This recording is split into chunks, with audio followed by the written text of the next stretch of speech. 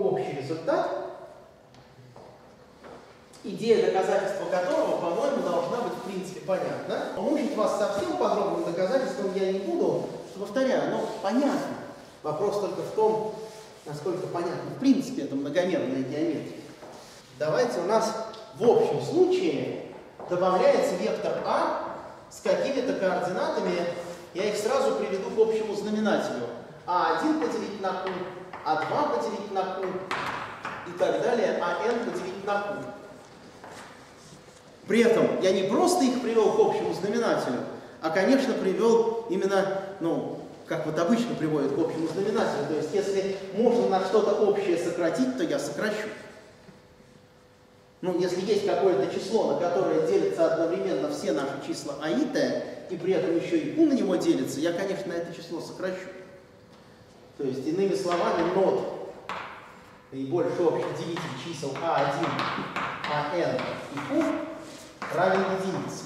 Предполагается, что вот такого общего делителя у всех этих чисел больше нет. Мы аккуратненько так вот все подсократили, но при этом приведя к общему знаменателю.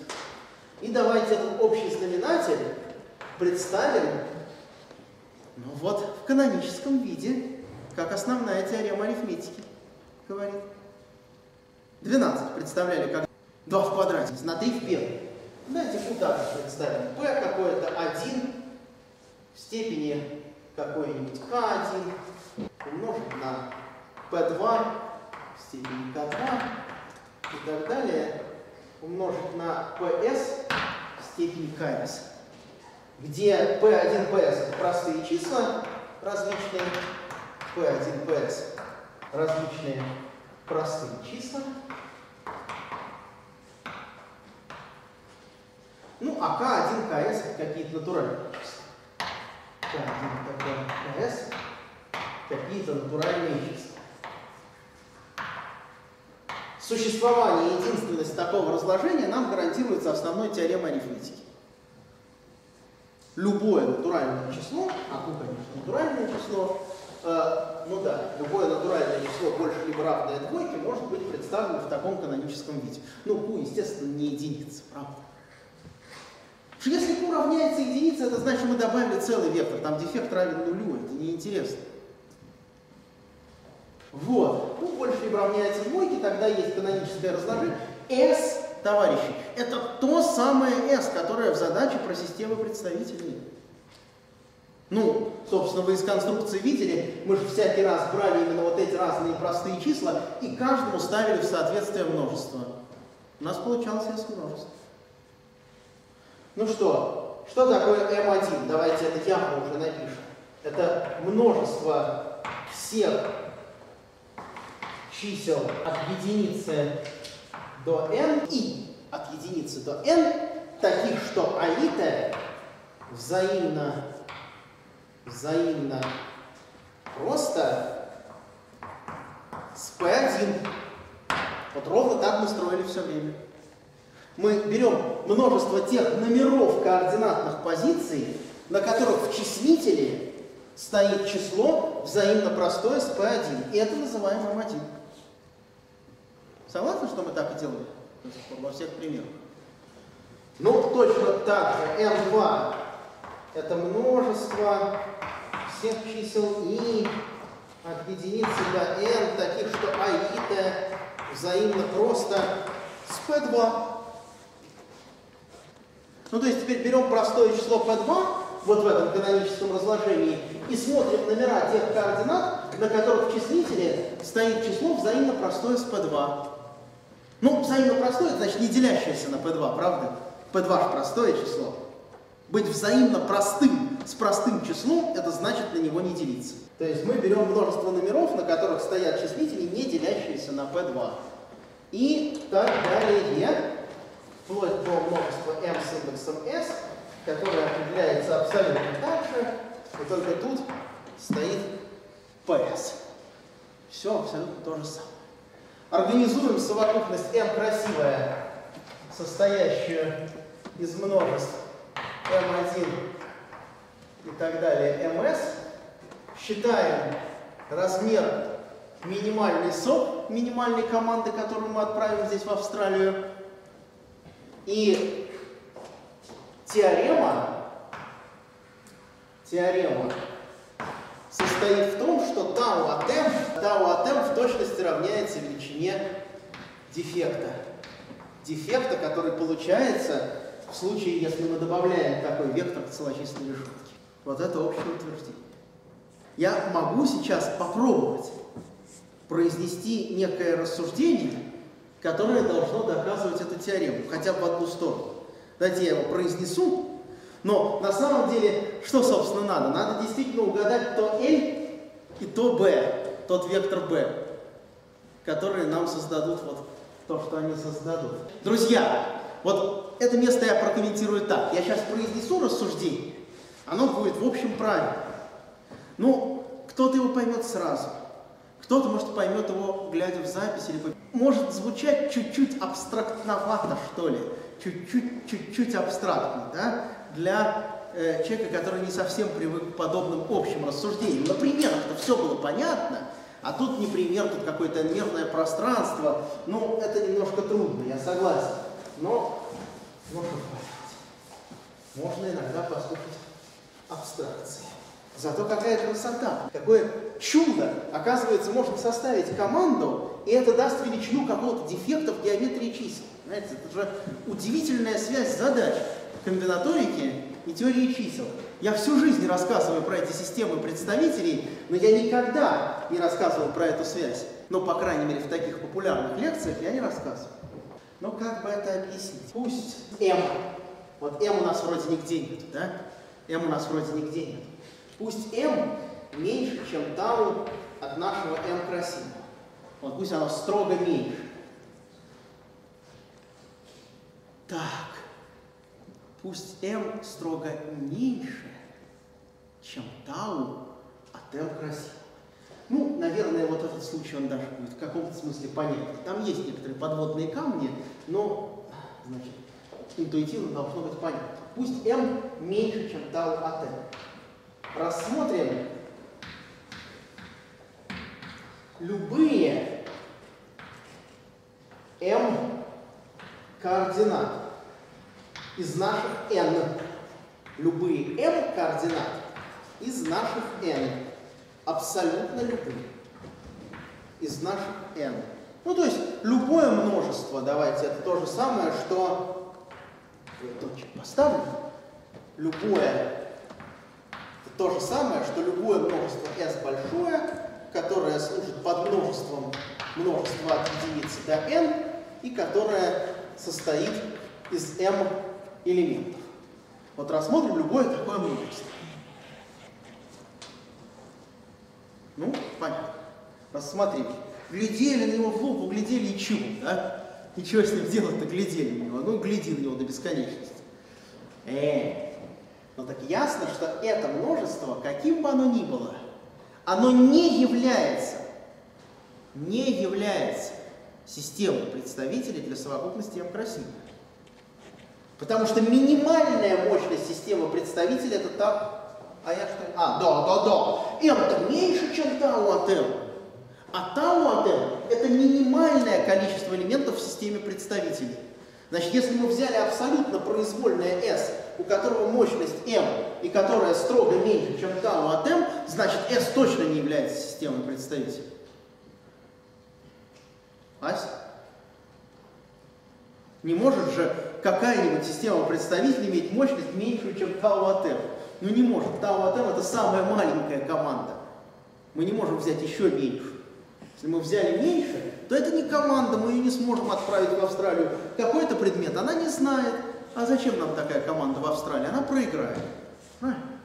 Вот. Поэтому давайте так и напишем. Следовательно, S не СОП, не система общих представителей для M. Что это в свою очередь означает?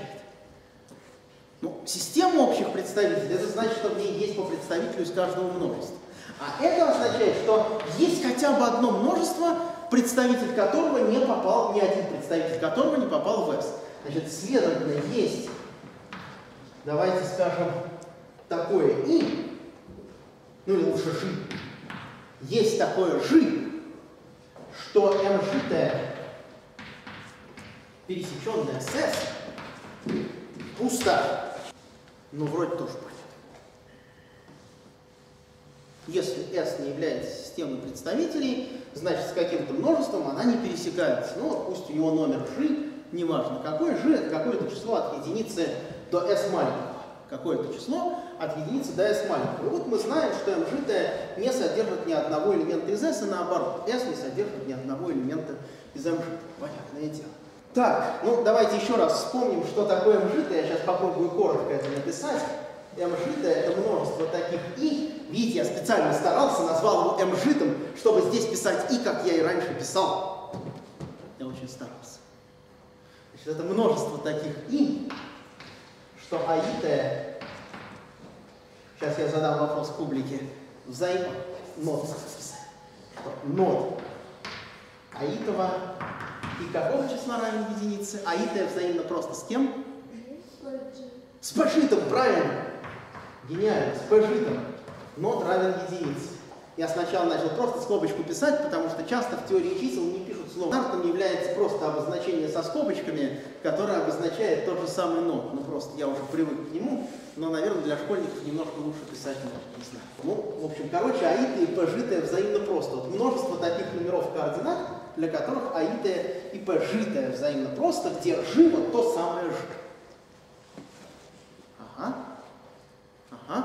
И вес, вес, вес, вес. Нет ни одного такого аитова. Что это значит? Что вес находится на номера координат. Друзья, давайте так напишем. Это значит, что вес, я прям напишу, чтобы было понятно, что вес находится номера. Координат, номера координат, на которых стоят аиты, делящиеся на pgt, делящиеся на pgt, и только делящиеся. В S нету таких аитов, которые были бы взаимно просто P S пусто пересекается с самжитом, понимаете? В S нету вот этих элементов аиты, потому что пересечение пустое. Раз в S таких нету, значит в S находятся только те номера координат, для которых аиты делятся на P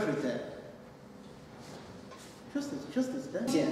Давайте возьмем теперь, а я же, наверное, могу писать вот на этой доске, правда? Я не зря стираю. Что я буду стирать? Давайте возьмем теперь L.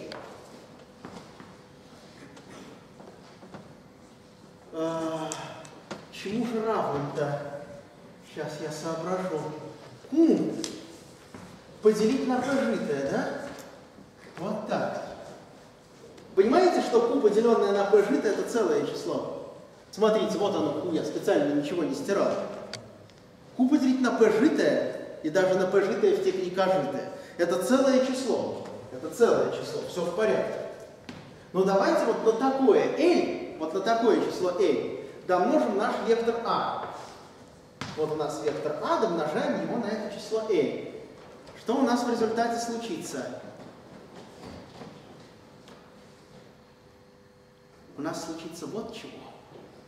Все координаты нового вектора, все координаты нового вектора, у которых номера находятся в нашем множестве S,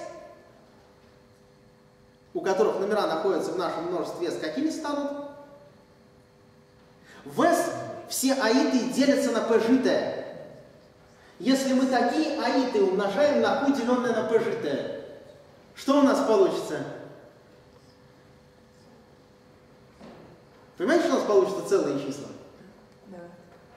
Значит, вот у такого вектора на координатах S стоят целые числа.